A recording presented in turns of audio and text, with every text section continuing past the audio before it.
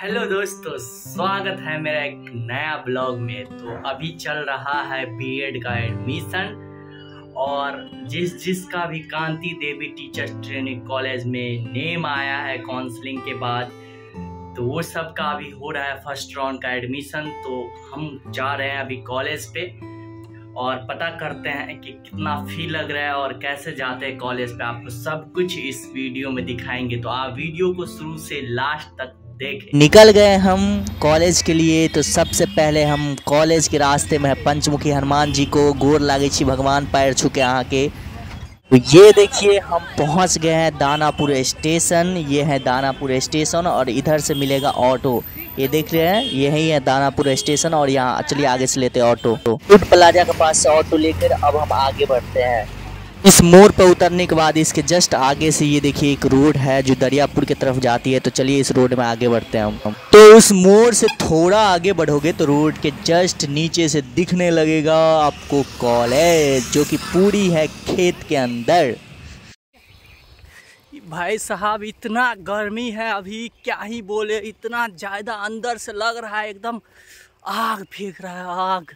भाई, इतना कड़क गर्मी में इतना कड़क गर्मी में हम आप सबके लिए ब्लॉग बना रहे हैं और आप लोग मेरे ब्लॉग को लाइक, कमेंट नहीं करते हैं। सोचिए कितना बुरा लगता है।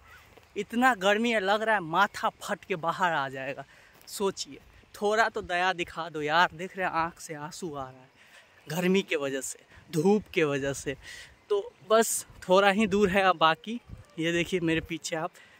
ये यही है वो कॉलेज जहाँ पे हम आपको लेके जा रहे हैं, Kanti Devi teacher training college. तो एकदम पूरा खेत में है, खेत खलियानी देख रहे हैं चारों तरफ़, पूरा खेत खलियान है। पहले इधर से रास्ता था अब, लेकिन अब जो है सो बंद हो करके थोड़े दाएँ बाएँ रास्ता हो गया, लेकिन क्या ही फ़र्क पड़ता है। रास्ता किधरों से हो, जाना तो मंजिल के पास ही है ना? तो चलिए अब हम कुछ ही क्षण में पहुँचेंगे, कांति देवी कॉलेज और दिखाएँगे वहाँ। तो यही है कॉलेज। आप देखिए, पढ़िए, क्या नाम है? Kanti Devi teacher training college ये कॉलेज देखिए आप, ये जो है, सो रोड से आपको हम दिखाते हैं कि कितनी दूरी पर है। ये देखिए, इधर जो है, सो मेन रोड वो देख रहे हैं आप सामने, और मेन रोड से इतना दूर आपको पैदल खेत की तरफ़ आना पड़ेगा। फिर आप कॉलेज के कैंपस में पहुँच जाइएगा। तो पहुँचने के बाद भैया चलते हैं आप कॉलेज के अंदर ऑफ़िस में। तो ये देखिए, ये है आपका वेटिंग हॉल जहाँ पे आप प्रतीक्षा कर सकते हैं।